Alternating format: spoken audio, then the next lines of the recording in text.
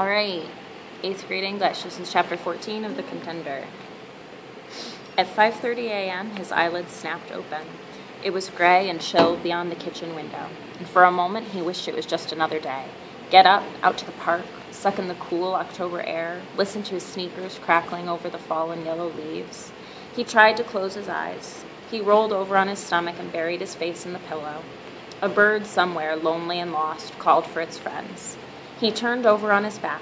The green plaster over the kitchen sink had finally cracked loose, leaving a powdery white hole as big as a fist. He wondered why he hadn't noticed it in four months. After a while, the apartment began to stir. First Aunt Pearl turning heavily in bed for the last few minutes of sleep, then the girls drow- drowsily untangling their arms and legs. An automobile horn blared downstairs. Garage can covers changed. A policeman, bored and tired, dragged his nightstick along the bars of an iron fence. A skinny shaft of sunlight came through the window. You sick, Alfred? Feel fine, Aunt Pearl. Ain't you going to run this morning? Not this morning. Oh. She washed and dressed and woke up the girls. They began wandering between the front room and the bathroom, their eyes half shut, bumping into each other. Such nice little girls, he thought, warmth spreading through his stomach. See, they get see they get some real cute dresses one of these days. You gonna stay in bed all day? For a while. You'd be late for work. I'm off today. How come? Just like that. You ready for breakfast? Just some tea. I suppose you want your tea in bed. No, I'll get up for it. What's going on, Alfred? Nothing. She let two pots clatter to the floor. Alfred's head jerked up. Just want to be sure you're alive, she said. He put his hands under his head and watched them eat breakfast, smiling as the girls kept peeking at him over their cereal bowls. Is Alfred sick? asked Charlene. Alfred is retired, said Aunt Pearl. Is Alfred going to stay in bed all the time? asked Sandra. Why don't you ask Alfred? Today, he said slowly, Alfred Brooks is resting himself for his big opportunity for advancement. What'd he say? asked Paula. He don't know himself, said Aunt Pearl. She dropped a tea bag into the cup and poured hot water over it. She placed the cup on the table. You've been doing so good at the store. They didn't fire you. They did not. You didn't hurt yourself with all them exercises. I did not. She shrugged. Guess you just a lazy boy. Don't you have any more questions? She pressed her lips together to stop a smile. Us busy people don't have time for quiz shows in the morning. They cleared the table and put on their coats, and Aunt Pearl leaned over the bed. You got a secret? I do. Okay. She smiled down at him. I hope it's something good. Tell me later. Tonight. Fine. She touched his fo- forehead. Don't let your tea get cold. He got out of bed very slowly, stretched, and took the teacup into the front room. He turned on the television set and sprawled out on the couch. He watched two cartoon programs and part of an old gangster movie. He was still sipping at the tea, watching an exercise program for women, when Henry knocked on the door. You ain't even dressed yet. It's only 10 o'clock. We don't have to meet Mr. Donatelli till 12. Yeah, I know, but still. Come on, Henry, I'll make you some tea. Relax, you. He did not begin to feel it himself until they were on the street. His stomach tightened, his lips moved mechanically to smile back at people he knew. They stopped in front of Epstein's and waved at Lou through the plate glass window. The old man left the register and came out. You feel good? Fine. You look good. Get a good night's rest? Yeah. Okay, I don't want you to. I don't want you should stand around on the street. I'll see you tonight. Tonight? Why not? said Lou, squeezing Alfred's biceps. Donatelli was waiting for them at the gym. The room, empty of fighters, seemed huge. You have your card? Right here. Alfred opened his wallet and pulled out his the amateur card with a postage stamp photograph. Let Henry hold it. They followed Donatelli downstairs, stopping at the second floor dentist office. I have a patient now. You better eat without me, Vito, said Dr. Corey, and he handed Henry a small box. I made Alfred a second mouthpiece in case he swallows the first. That's not funny, Arthur, said Donatelli. So I'm not a comedian. He winked at Alfred. Don't let these two make you nervous. Donatelli led them to a small luncheon at around the corner. He ordered sandwiches for himself and Henry, two soft boiled eggs, toast, and tea with honey for Alfred. The counterman brought the food to their booth. You going to be a stranger, Vito? How's the Streeter kid? I don't handle him anymore. Too bad. Got any good ones? They're all good ones. Yeah, sure. The counterman laughed. They picked at their food. Do you feel butterflies in your stomach? asked Donatelli. No, like a cold spot. That's good. Means you're on edge. The tea will help settle your stomach. Henry better have some tea. He's got the butterflies. The thin lips parted. That's even better. On the street again, Donatelli hailed a taxi. He gave Henry a key and three dollars. I'll be up in a few hours. Just make sure Alfred rests. He said something to the driver, and the cab lurched into the uptown traffic. Where are we going? Spoon's place, said Henry. Be nice and quiet there. Alfred relaxed into the back seat. This is all right. What happens when you turn pro? You get a Cadillac and a chauffeur? Henry shook his head. When Jelly had his first fight, he came back from the weigh-in by subway. Hmm. Is Jelly gonna fight again soon? I don't know. Just between you and me, Mr. Donatelli ain't so high on him anymore. But he knocked the guy out in one round. Yeah, but Mr. Donatelli says anybody can't control himself with food can't go all the way. He said that to Jelly's face. What Jelly say? He just made a joke, you know, Jelly, and then he went out and had a whole chicken. Said he wanted to get an appetite for dinner. Alfred looked at the cab window, and a breeze had sprung up, whipping flecks of white on the Hudson River. The spot, the cold spot, grew. Where's Spoon live? Washington Heights. That in Manhattan? Yeah. Across the river on a hill, the Ferris wheel of an amusement park stood motionless against the hazy gray sky. Henry? Yeah. You know, this is the first time I ever rode in a cab. When I was a kid, I rode in lots of cabs. How come? My mother used to take me to the clinic in a cab. Oh, for my leg. I had polio, said Henry. Yeah, I know. I've been watching you lately. You don't drag your leg so bad anymore. For the first time Alfred could remember, the grin completely disappeared from Henry's face. He turned away. Sometimes it gets a little better, just temporary. The cab stopped in front of a six story brick apartment building on a quiet street, tree lined street. Henry paid the driver and limped heavily to the lobby elevator. There were even more books in Spoon's living room than Alfred had ever seen in a home. The walls were covered with bookshelves up to the ceilings. Magazines and records were neatly stacked all around the room. You think he's read all these books? I don't know, mumbled Henry, lowering himself into a soft chair. How you feel, man? Me? Yeah, all I gotta do is fight tonight. You're the assistant trainer. You got all the worrying to do, right? Henry brightened a little. Spoon said he'd never get to read all these books if he lived to be a hundred, but when him and his wife have an argument, all they gotta do is look up to see who's right. What do they argue about? I was here one time before, and she said the first American to get to the North Pole was black, and he said no, the black guy and the white guy stepped on it at the same time. I never heard about that in school. Who was right? I don't know. They were still looking it up when I had to go. Alfred laughed. Some argument. One time I was over this guy's house and his folks got to arguing about cigarettes. The first thing you know, they were throwing bottles. Bottles? Yeah, whiskey bottles. They didn't hit each other, but they hit this guy and he had to get nine stitches in his head. Was that James? said Henry. How'd you know? I heard it around. You see him anymore? No, I tried to call him a few times, but his folks don't know where he's at, said Alfred. You were real tight. Yeah, he used to be my best friend. What happened? You know how it is. Get older. What do you mean, Alfred? Forget it. You ever go down to the club room? Don't you know what happened? Thought you did. They were having a party down there a couple weeks ago, making a lot of noise, and somebody called the cops. They got busted in there and found marijuana and heroin. Was James there? Yeah, everybody beat it except Sonny. He's so dumb. And some kid named Justin. They got arrested. My father kicked them out. It's just an extra storeroom now. Where they all hang out now? They're scattered. Alfred pretended to study the books. Many of them were worn around the edges as if they had been handled often. What you thinking about? asked Henry. Huh? Nothing much. Let's see what's on TV. Henry got up. I'll turn it on. You gotta rest. He snapped it on, and a woman was giving a lesson in French. You want to watch this? Why not? I might have to fight a Frenchman someday. You don't have to talk to him. Just hit him, you know. Yeah. Alfred pointed a finger at Henry. You better watch it. You might have to talk to his trainer or something. Spoon came in a little after 3:30, a briefcase under his arm. I always found the worst part of fighting was those long afternoons just waiting and killing time. You must read a lot of books then, said Alfred. Spoon shook his head. Wish I had. No, I used to play solitaire. There was one fighter in those days, a pretty good light heavyweight named Junior Ellis, who used to sing along with country and western records before a bout. He got his fighting juices worked up. What happened to him? He had a fight with a top contender, an Italian kid, and lost. The next day in the papers, the contender said he had won because he sang along with opera. They were still chuckling when a plump, sweet faced young woman came in. She was carrying a briefcase, too, and Spoon got up and kissed her. This is my wife, Betty. You remember Henry Johnson, and this is Alfred Brooks.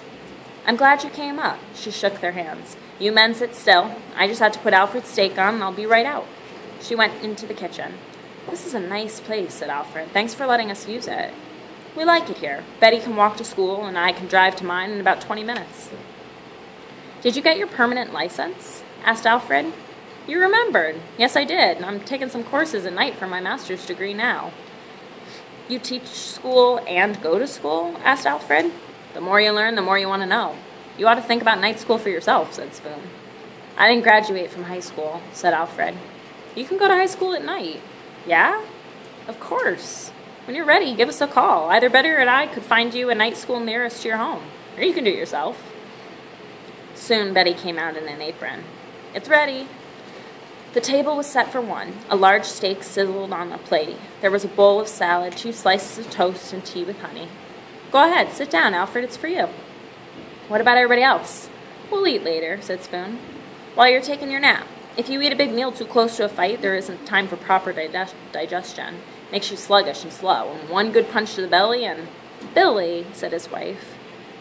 She's not the world's greatest fight fan, said Spoon. The steak was thick and rare. He felt funny eating alone and offered Henry a piece, but Henry just shook his head and watched him eat, and once told him to chew more carefully.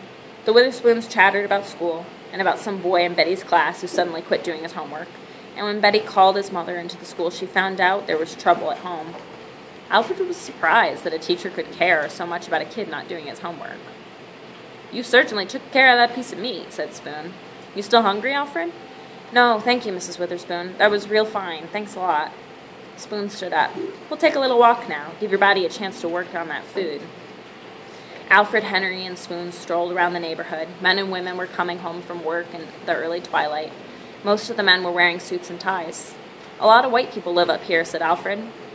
This is a fairly well integrated neighborhood, said Spoon. You have any white friends? asked Alfred. A few. Some teachers, some college friends, and a boxer with whom I used to train. Spoon laughed. Once I found out that white boys bled the same color I did, same color I did, I figured I'd let them move into my neighborhood any time. By the time they returned, Betty had drawn the bedroom drapes, turned down the spread of the double bed. Take off your shoes and loosen your belt, Spoon said. Try to sleep if you can.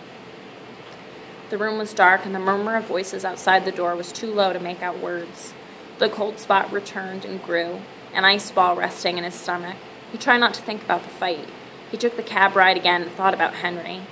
Nervous all day and watching over him, like a like a trainer. Dishes clattered and somebody said shh. It sounded like Donatelli. Everybody's been so nice, he thought. I I wonder what they'll say if I lose. The lights snapped on and Henry was beside the bed. Okay, Alfred, let's go. Betty shook his hand at the door and wished him luck, and then they were moving quickly down the elevator into the darkening street.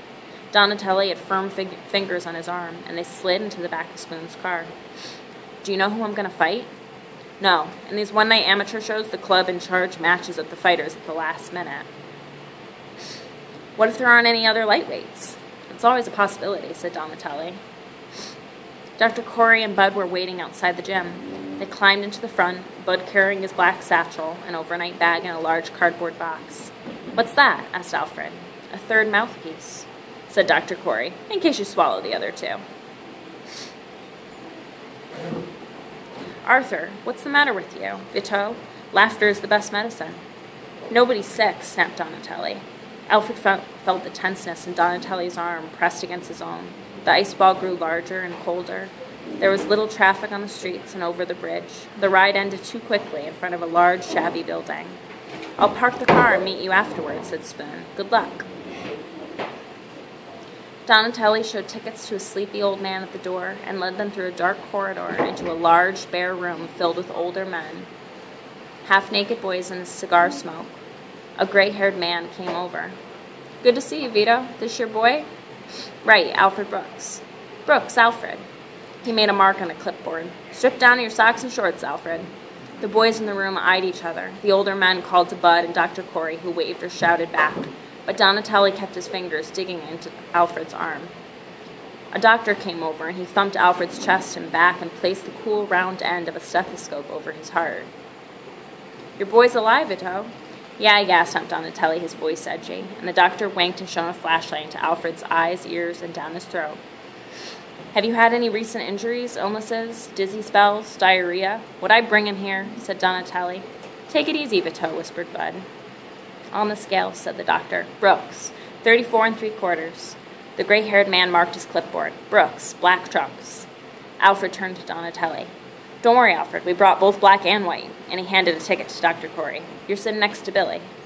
You don't want me in the corner? Henry's working the corner tonight. Local number 143, amateur boxing. See the champs of tomorrow, tonight, 8:30, Long Island City, Union Hall.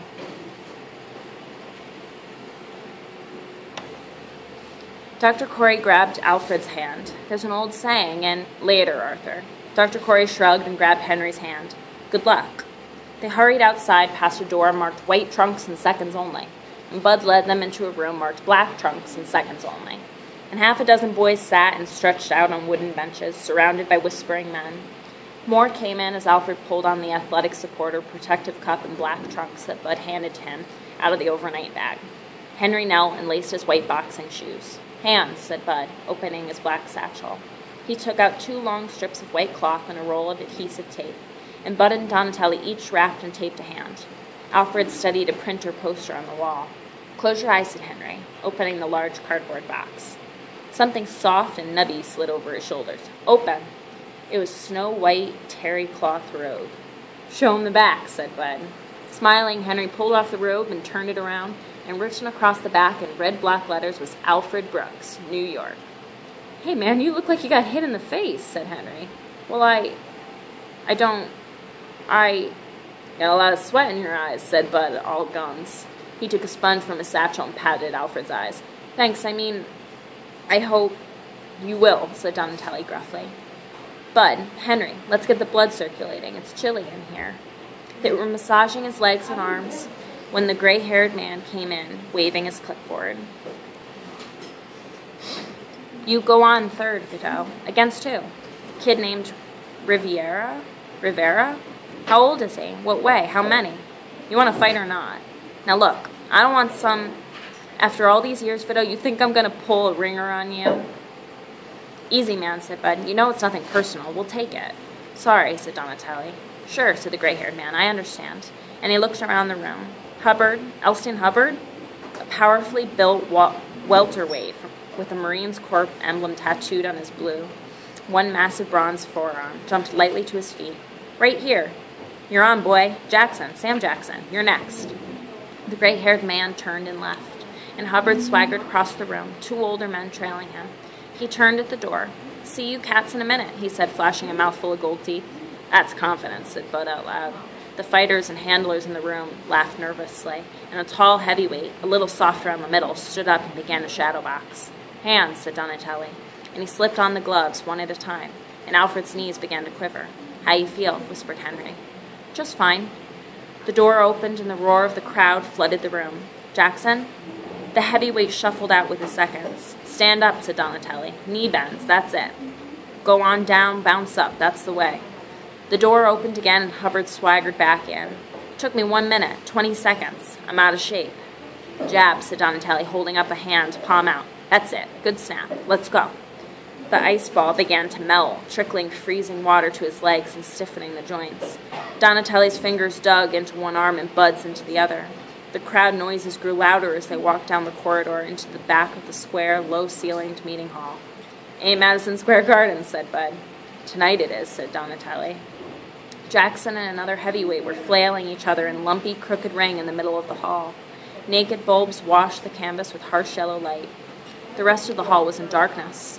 Alfred couldn't tell how many people sat in the uneven rows of metal folding chairs. Come on, you bums, sh- someone shouted, and the heavyweights pushed and butted each other clumsily. The referee pulled them apart and ducked as a long right arm looped over his head and Jackson fell down and stayed down. He just didn't want to get back up, Alfred thought. We're on, said Bud. They started down the aisle, Donatelli and Bud pushing him along their shoulders. He could hear Henry's breathing hard behind him, hurrying to keep up. They waited at the ring steps as Jackson stumbled down, his eyes half closed, and then they went up into the pool of hot and blinding light. Bud spread the ropes and Donatelli shoved him through.